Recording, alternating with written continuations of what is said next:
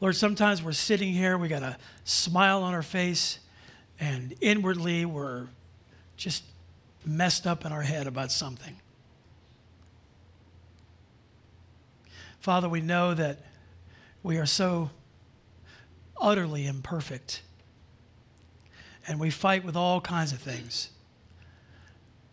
And sometimes, even during a sermon, we're fighting, we're wrestling inside. Father, we ask right now that you would just calm our hearts, calm our minds. Help us to just submit our hearts and minds to you right now. Lord, we want to hear from you.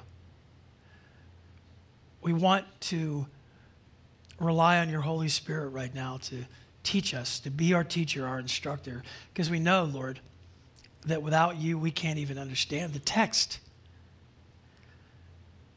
Because this exceeds any intellectual exercise, Lord, that we can engage in. This is a spiritual matter. And we need your spirit, Lord, to reveal your word to us. And I pray that you would speak to this flock. Speak to my heart, God. Open the eyes of our hearts as we sing.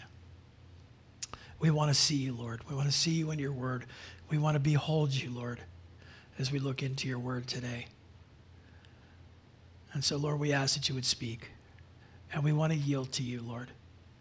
In Jesus' name we pray. Amen. Amen. Chapter 4, let's begin reading. Verse 1. We're going to read all the way down through verse 6. Therefore, since Christ has suffered in the flesh, arm yourselves also with the same purpose, because he who has suffered in the flesh has ceased from sin, so as to live the rest of the time in the flesh no longer for the lusts of men, but for the will of God. For the time already past is sufficient for you to have carried out the desire of the Gentiles, having pursued a course of sensuality, lusts, drunkenness, carousing, drinking parties, and abominable idolatries. In all this, they are surprised that you do not run with them into the same excesses of dissipation, and they malign you. But they will give an account to him who is ready to judge the living and the dead. For the gospel has, for this purpose, been preached even to those who are dead, that though they are judged in the flesh as men, they may live in the spirit according to the will of God. End quote. Let's go back to verse 1. verse 1. Therefore, since Christ has suffered in the flesh, arm yourselves also with the same purpose. Let's stop right there at that first part. Now, notice in the beginning of the chapter we have the word therefore. So that means we have there's a connection somewhere to something, right? The word therefore actually draws a conclusion from the previous verses, chapter 3, verses 18 through 22, which features Christ's victory over the hostile powers by virtue of his death and resurrection. We sang about that just moments ago. you know, we have overcome by the blood of the Lamb and by the word of our testimony.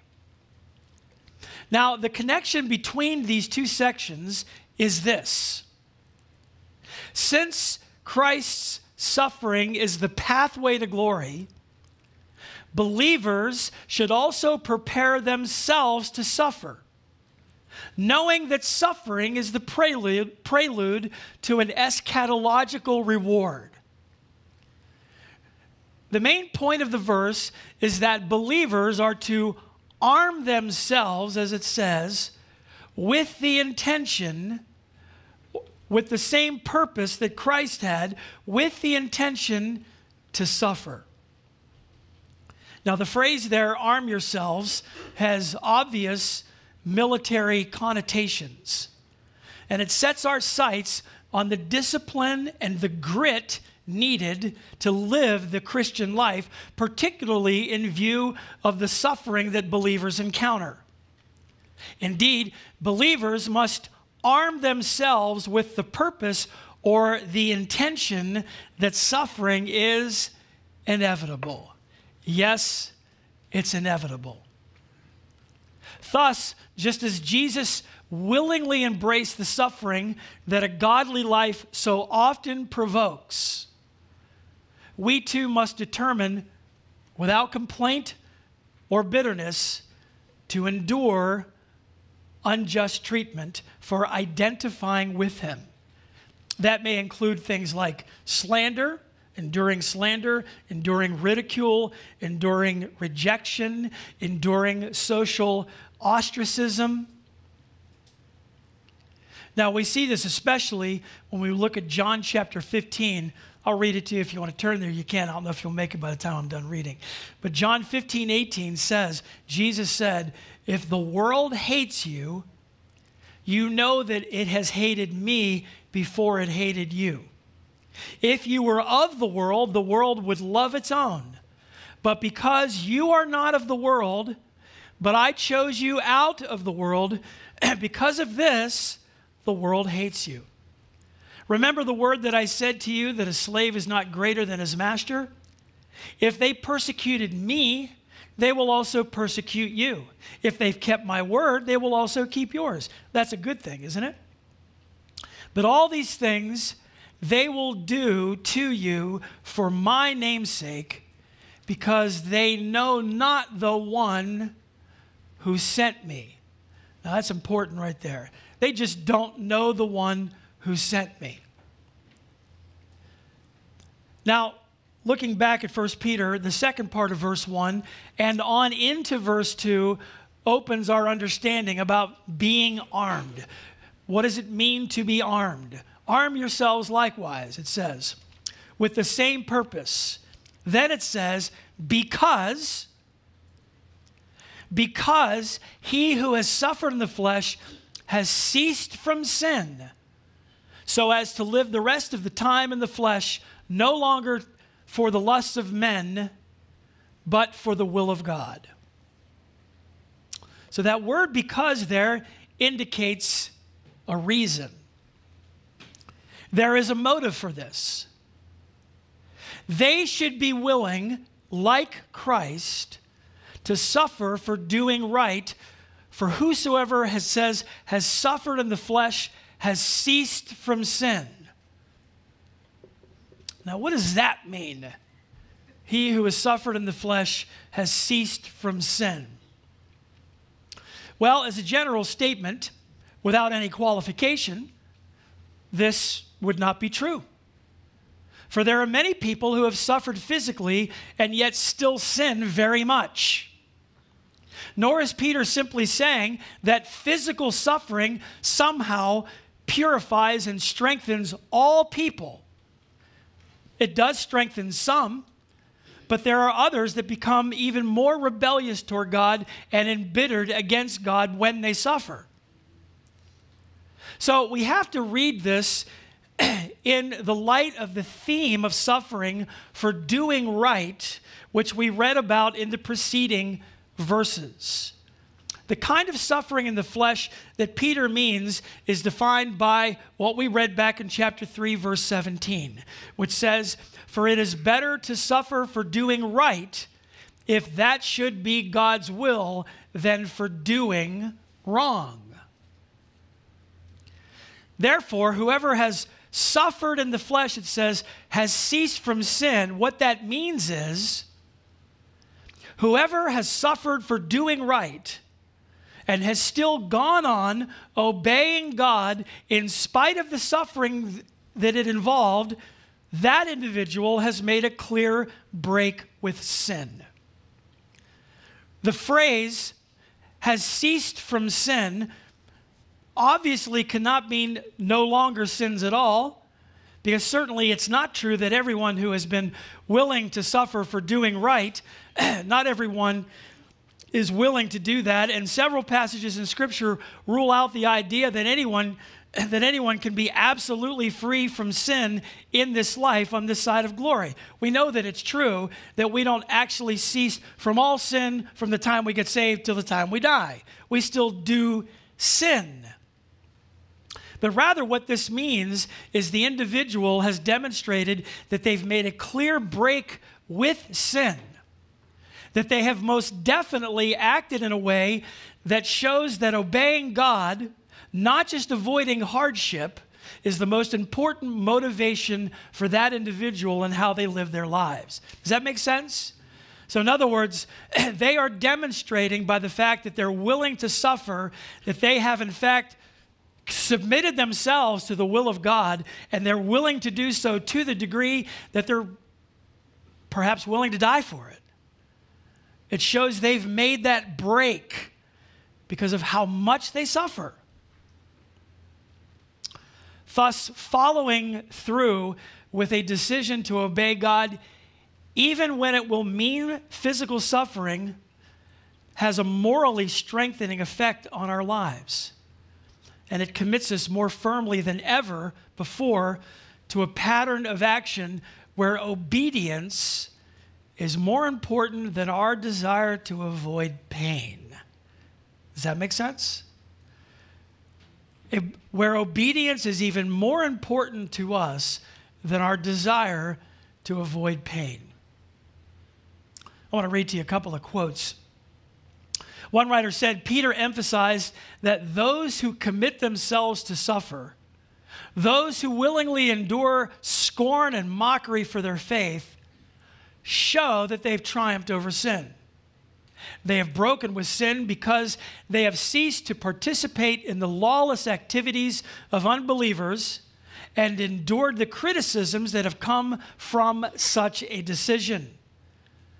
The commitment to suffer reveals a passion for a new way of life, a life that is not yet perfect, but remarkably different from the lives of the unbelievers in the Greco Roman world to make a break with sin is to resolve not to live the remainder of one's earthly life for human passions, but for God's will.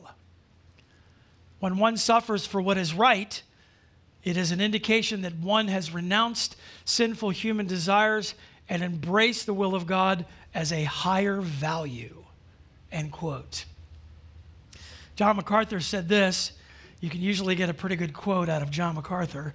John MacArthur said, The apostle was not expressing a new concept to his readers. Jesus had taught positively that if anyone wishes to come after me, he must deny himself, take up his cross daily, and follow me. And negatively, he said that he who does not take his cross and follow me is not worthy of me. He who has found his life will lose it, and he who has lost his life for my sake will find it. Taking up one's cross has no mystical connotation and means more than merely some extra spiritual dedication.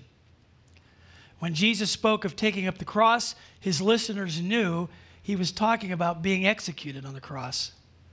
They knew exactly what he meant. They must confess Jesus as Lord no matter what, even if it meant to die physically for his sake. The Apostle Paul understood well the principle of cross bearing.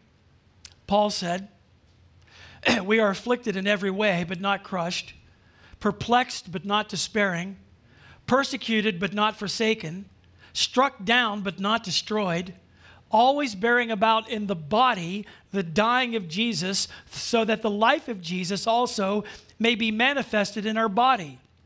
For we who live are constantly being delivered over to death for Jesus' sake, so that the life of Jesus also may be manifest in our mortal flesh, so that death works in us, he said, but life in you. End quote. It's easy, right? When you're, if you are a professing Christian and life gets tough and you just say, eh, enough of this God stuff. That's no testimony.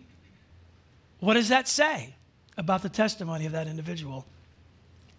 But verse 1 leads us into verse 2, because verse 2 is the continuation of thought. He who has suffered in the flesh has ceased from sin, verse 2, so as to live the rest of the time in the flesh, no longer for the lusts of men, but for the will of God. So, in this verse, the apostle tells his readers why God breaks the power of the sinful nature at the moment that the Christian is saved. And this is the Christian goal in life, is it not? What it says right here? Can there be a more succinct way of stating our mission of sanctification so as to live the rest of the time in the flesh, no longer for the lusts of men, but for the will of God? Consider these cross references. Ephesians 4:17. So this I say and affirm together with the Lord that you walk no longer just as the Gentiles also walk in the futility of their mind, being darkened in their understanding, excluded from the life of God because of the ignorance that is in them and because of the hardness of their heart. The apostle wrote to the Ephesians, we know, let's, let's not walk that way. Remember how they walked, how you walked and don't walk that way. Philippians 1:29 for to you it is given it had been, has been granted, excuse me, for Christ's sake, not only to believe in him, but also to suffer for his sake. 2 Corinthians 5:15 says, speaking of Christ, that he died for all so that they who might who live might no longer live for themselves, but for him who died and rose again on their behalf.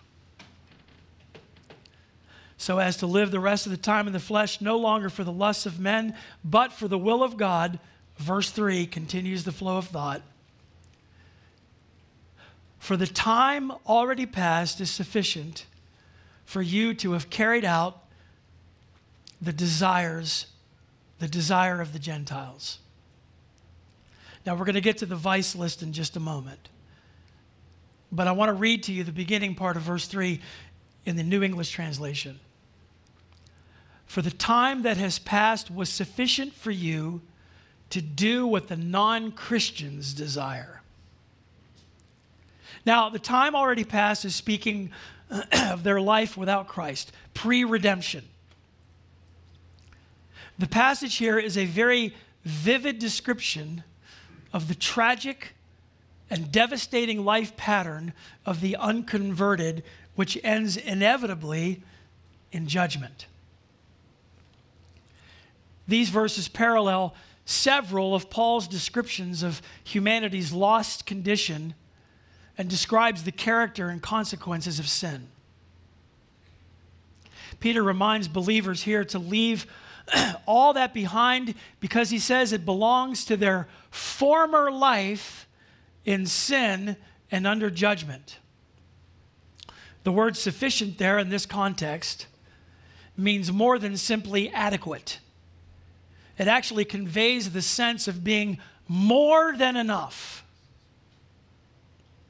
Peter's readers had had a whole life of opportunity to sin. And that it is more than enough to have carried out the desire of the Gentiles and to have lived a life to fulfill all the sinful passions. In other words, you've run with the pack long enough. It's time to set all of that behind. You have fulfilled all that needs to be fulfilled in doing all of that. The word desire here conveys the sense of being a purposed longing. The hearts of the unsaved are determined to follow their passions. And Peter called that way, in, back in chapter 1, verse 18, he called that their futile way of life. That former disposition pursued a course. It conducted life's affairs along a specific path of destructive behavior. In fact, if you want to turn there, you can real quick uh, Ephesians chapter 2. Ephesians chapter 2, verse 1. Or I can just read it to you.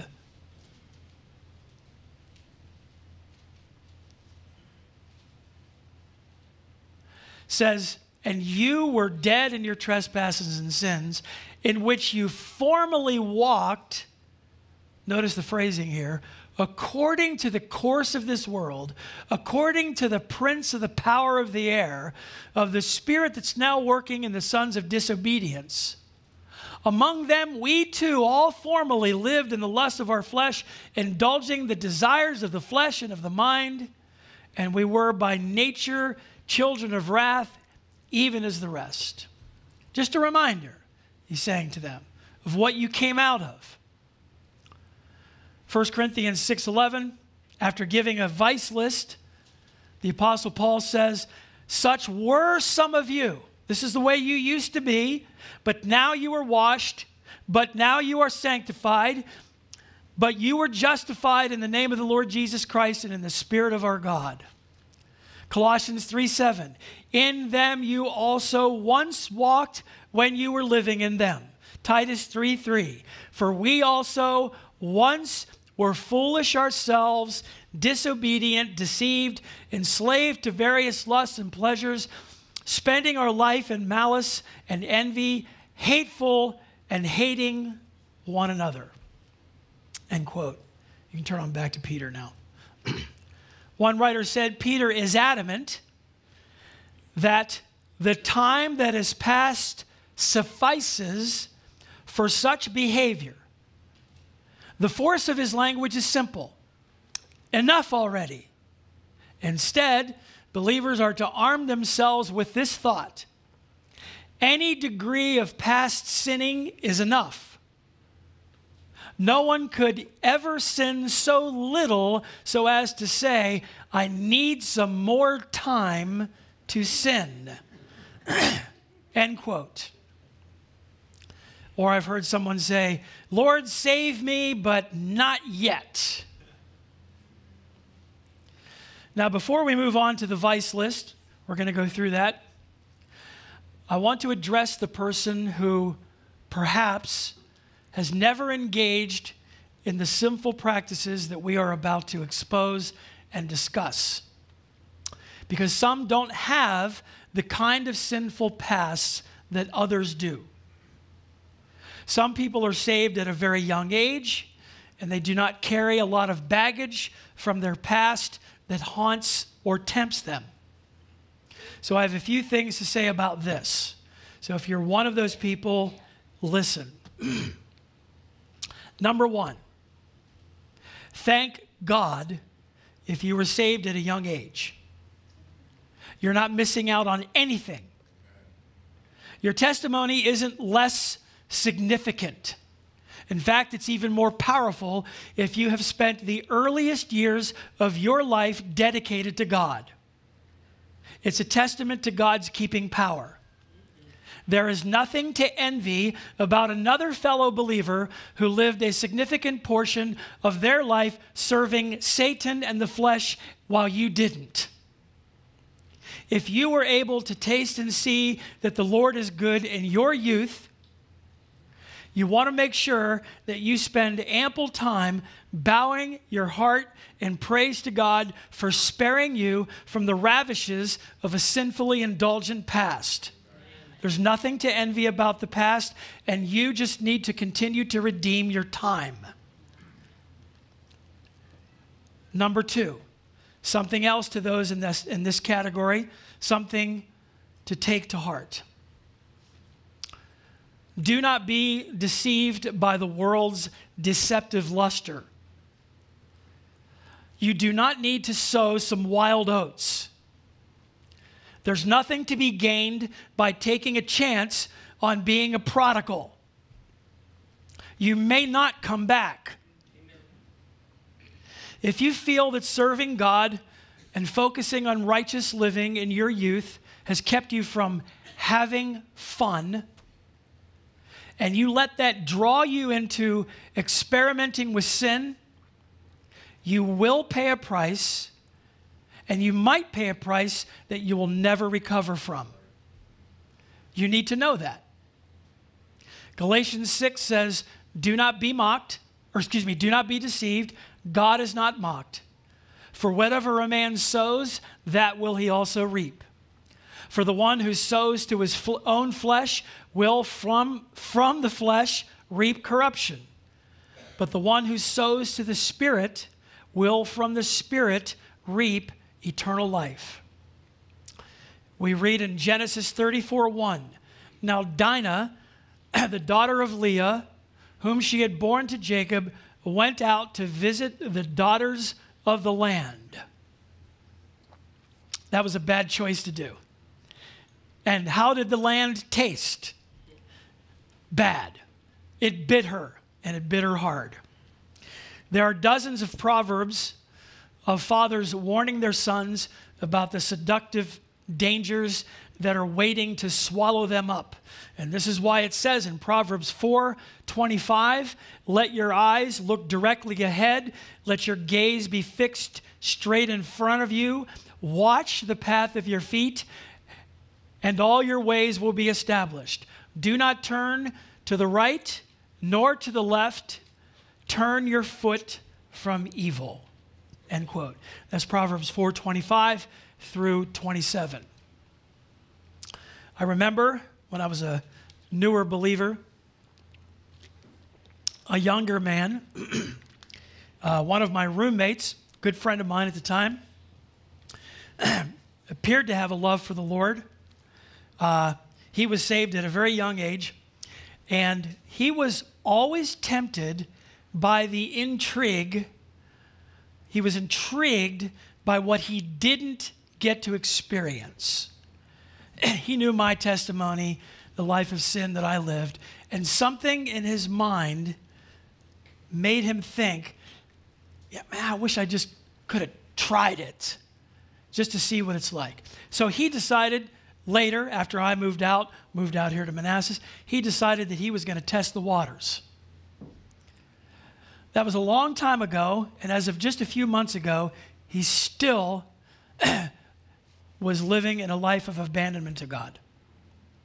He thought he was snared, or he thought he would test, and he ended up being ensnared. Many decades ago, many decades ago, Keith Green wrote a song to his then infant son, Josiah. The name of the song is a song for Josiah. Two of the lines of the song read this way well, if I could, I would protect you from what you will see. This world will promise love and beauty, but it lied to me.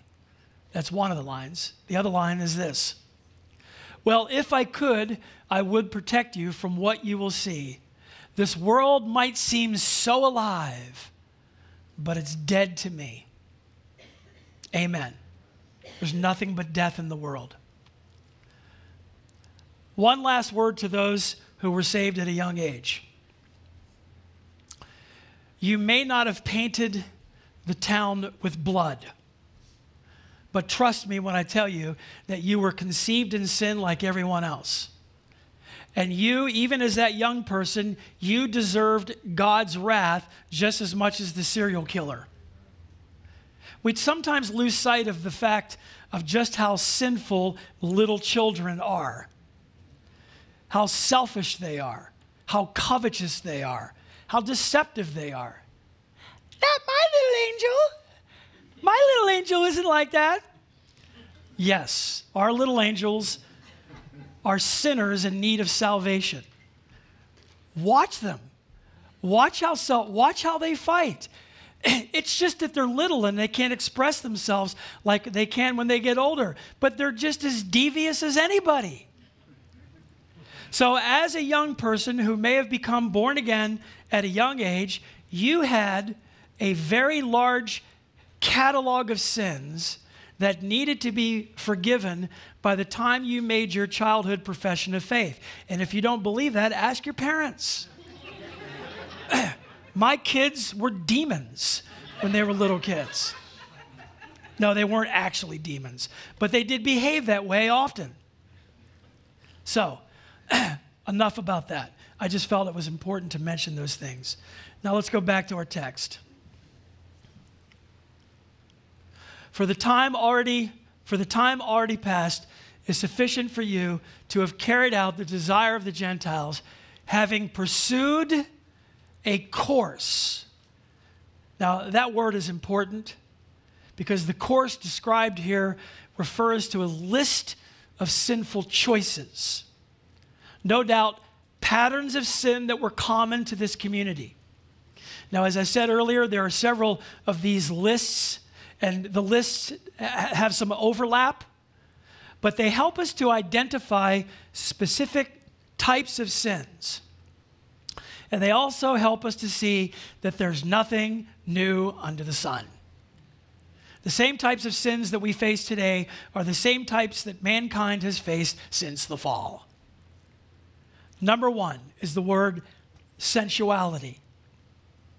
That word is defined in a lexicon, Greek lexicon, as living without moral restraint, debauchery, indecency, flagrant immorality.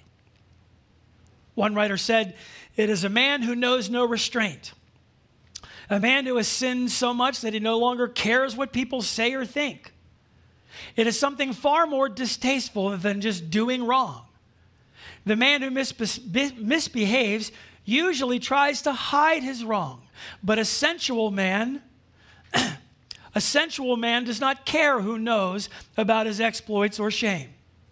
He wants therefore excuse me, he wants, therefore he seeks to take and gratify. Decency and opinion do not matter. Initially, when he began to sin, he did just as all men do. He misbehaved in secret. But eventually, the sin got the best of him to the point that he no longer cared who saw or who knew. Next word on the list here is the word lusts, which is similar in meaning. It means undistrained desire for something unrestrained desire for something.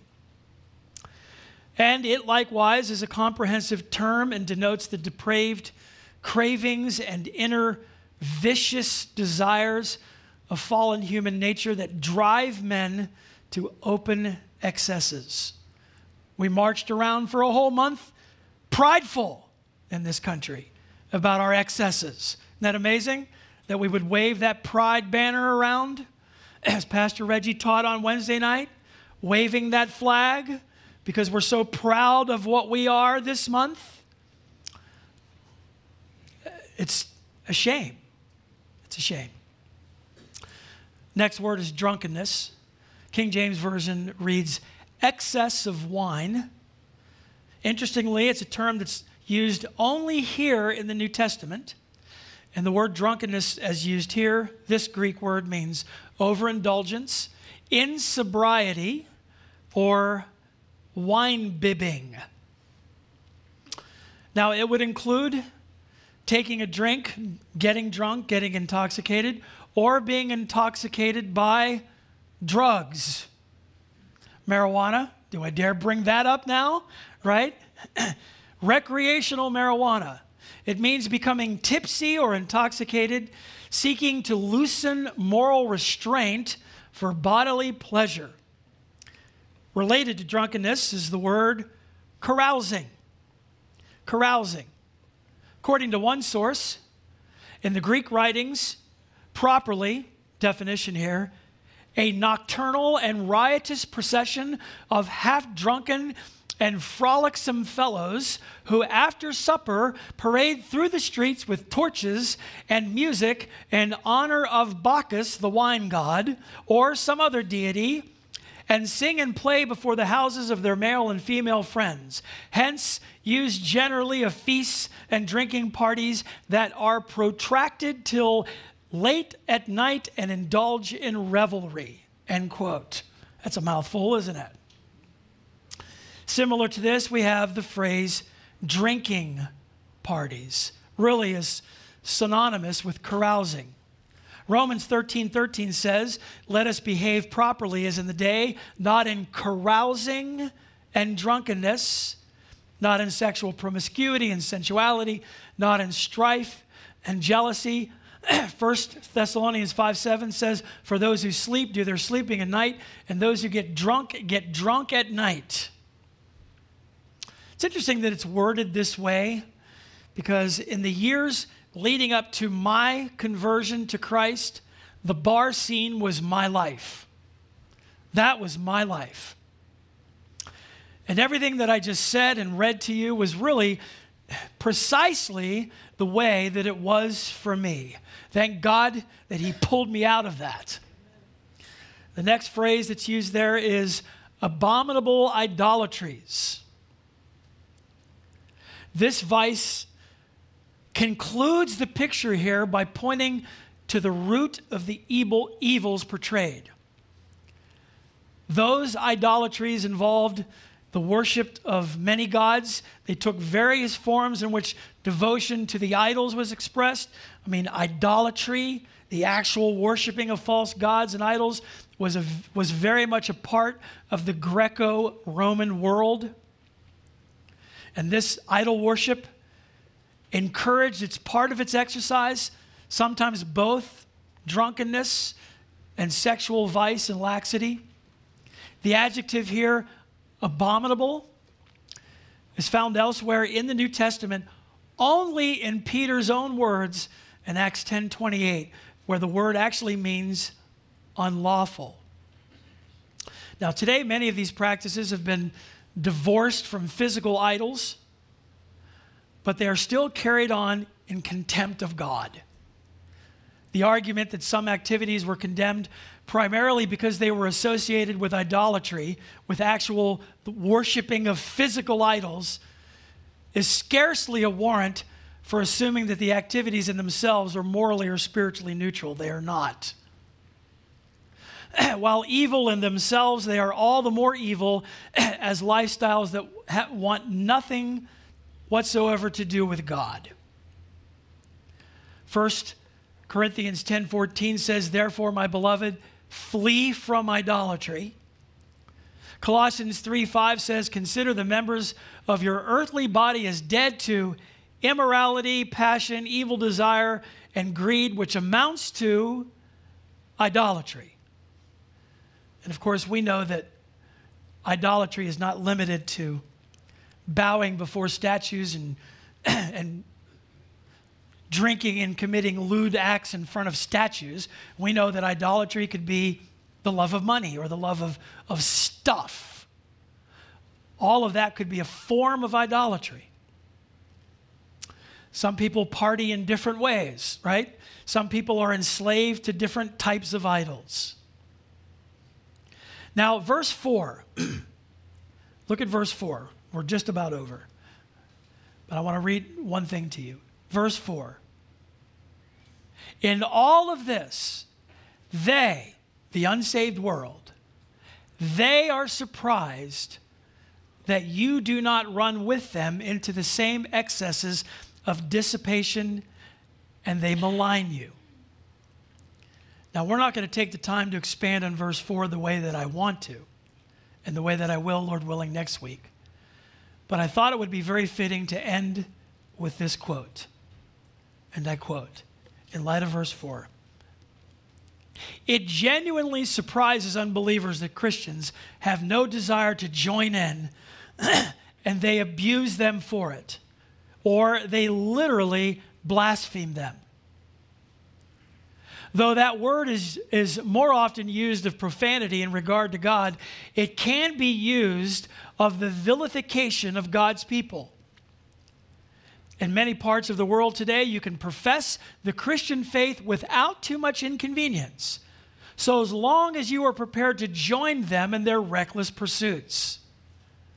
There is such a variety of beliefs that they have no problem in accommodating yours that is until you opt out by saying, that's not for me, or I'm drawing the line at that. Notice then how the atmosphere changes. As a general principle, either we are going to please God or we shall please men. And if we please men, we will almost certainly make it our practice not to please God. And this is due partly to the fact that the world doesn't understand and, and any of us are suspicious of something or someone who is different. But their antagonism is more likely because our lifestyle makes them uncomfortable. What a perverse and peculiar world we live in. If an individual, because of a dissolute life, causes harm to himself and disruption to his family, the world may not take too much notice. If, on the other hand, he stops drinking and lives a pure life, many think that he has gone mad. But that puts him in very good company. End quote. I mean, I remember when I got saved and people thought, Have you joined a cult? I was just out drinking and snorting Coke with you. And now you're asking me, because I don't want to do that anymore, if I joined a cult? I just got done worshiping Satan with you. And now you're asking me if I joined a cult? You're concerned for me? I mean, that is bizarre, isn't it? And they think it's strange that you will not indulge in the excesses that you once happily indulged in with them. And so they are surprised, it says. Now, we're going to expound a little bit more on this, Lord willing, next week. So let's just go ahead and put a period right there. Yes, it is an odd thing that they would think that way. they think it's odd. and we are very odd as Christians because the world is on a course and they're committed to that course. They're committed to eh, that worldview. They're committed to those sins. They're committed to that because they're serving the God of this world, who the Bible describes as Satan. And many of them don't even know it. Some of them know it and don't care. But most people probably would not be willing to admit, to admit they were serving Satan. I mean, I suppose if in one of my drunken stupors you were to say to me, You realize you're serving Satan, right? I probably would have went, What? No, I'm not. I'm just having fun. I'm just indulging myself. My appetite, my appetite for sin. Let's stand.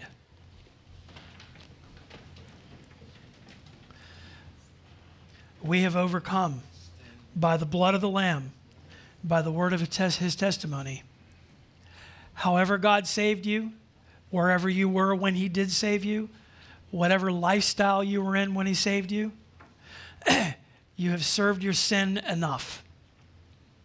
Put a period on the end of it. It's over with. It's done. You've been severed from that life by the life that you now have in Christ. God has forever snipped that life. Now, yes, we do still sin, right?